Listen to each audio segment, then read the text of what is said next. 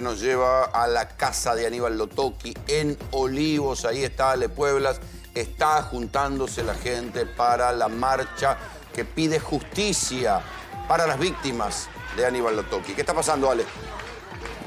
Rolo, en este momento se acercan frente a la casa de Aníbal Lotoki con las velas encendidas, con el reclamo de justicia y el grito también de asesino. Señora, se acerca a la reja a pedir justicia. Justicia, justicia para Silvina Luna, que vaya preso de por vida este hombre, porque es un asesino, realmente. Hay miles de víctimas, no puede ser. ¿Qué le pasa? ¿Tiene poder? ¿Qué es lo que le pasa a este hombre? Terrible, terrible. Yo tengo una tristeza terrible. Gracias, señora.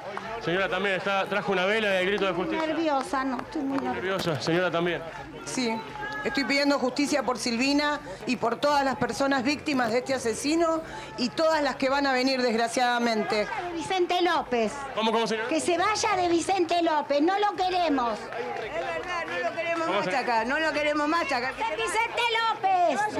Vicente López, que vaya preso, que vaya preso queremos, que se lo lleven a una cárcel. Bien, ahí escuchamos el grito. Impactante de la cantidad de gente, Ale, eh, que apareció de, Solo roles. de Sí, abajo sí. de las piedras. Mirá, eh. vamos a girar la cámara. Te voy a mostrar ahora el giro de cámara. Mirá cómo empieza a acercarse cada vez más personas.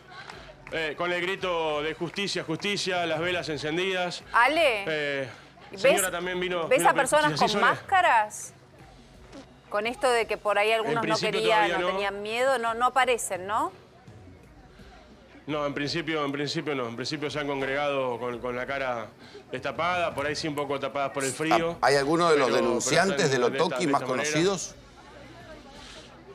No hemos llegado todavía a apreciar ninguno de ellos. Eh, son vecinos y obviamente gente que estaba en su casa y que decidió acercarse al lugar a pedir justicia y a que Aníbal eh, lo toque y se vaya del barrio sobre todo. No Sí. lo quieren. Ale, hoy veía a Lili, no lo quieren- un- no lo una persona que vino de barrio. Uruguay. Sí, exactamente, una persona que está ahí seguramente Hola, porque ¿te dijo que iba a estar. En vivo para ¿eh? América. Porque él estuvo, fue primero una de las últimas personas que habló con Silvina minutos antes de que ella sea internada. Sí, Ale, voy a vos. Bien, te molesto un cachito, Rolo. Eh, Viniste a reclamar justicia. Sí, vine a reclamar justicia porque también me hice eh, una cirugía con él. Y hoy estoy ¿Hace padeciendo. cuánto? Y yo fue, esto fue en el 2009. 2009. Sí, en el 2009. ¿Qué- ¿Se puede saber qué te hizo? Sí, glúteos y, y pantorrillas. ¿Con el mismo material que a Silvina? Supuestamente sí. Y creo que es también esa la angustia de saber que Silvina falleció. Y que yo también lo tengo el producto. Y ¿Y lo denunció, ¿Tuvo Ale? algún inconveniente Yo vivo enferma físico hace y lo has nueve podido años. denunciar? hace nueve años. Nunca lo denuncié porque tenía vergüenza. Pero bueno, ahora me contacté con Gabriela Trenchi. Y vamos a hacer que Preguntale qué secuelas también tiene, qué problemas tiene, Ale. Representar. Me va a Sí, representar. ahí vamos, ahí vamos. Ahí, ahí los voy a escuchar en el piso, un segundito. Mira, te voy a poner, está Rolando Verania y Sole Largui en el piso. Te voy a poner acá, perdonen que esto es en vivo en este momento. ¿Tu nombre? Perdón, no te pregunté. Hola, mi nombre es Celeste. Celeste, los escucha Celeste. Hola Celeste, gracias por estos minutos. Eh, ¿cuándo, ¿Cuándo fue tu intervención? En el 2009. 2009. ¿Sentís dolores, tenés secuelas a partir de lo que te puso en el cuerpo? Eh, yo hace más de ocho años que estoy sufriendo con mis piernas.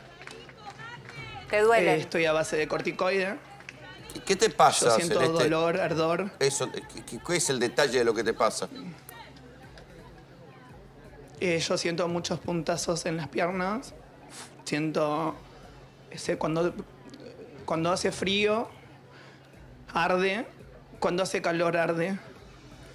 Mm, ¿Y lo tenés en las Em, pantorrillas el producto? Cada dos o tres meses, yo lo tengo en las pantorrillas